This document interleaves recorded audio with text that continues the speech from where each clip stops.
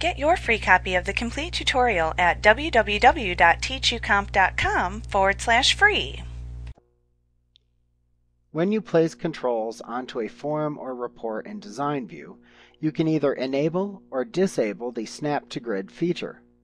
When enabled, it forces the controls to align themselves with the underlying grid in the form or report. If disabled, you have a greater flexibility in placing controls on the former report, but you may find it slightly more difficult to align the controls with one another. Once again, this is a toggle command, so you perform the same action to both enable and disable this feature. You can do this by clicking the Snap to Grid button. In Access 2010, this button is located in the Size and Space drop-down button that appears in the Sizing and Ordering group on the Arrange tab in the Form Design Tools Contextual tab within the ribbon.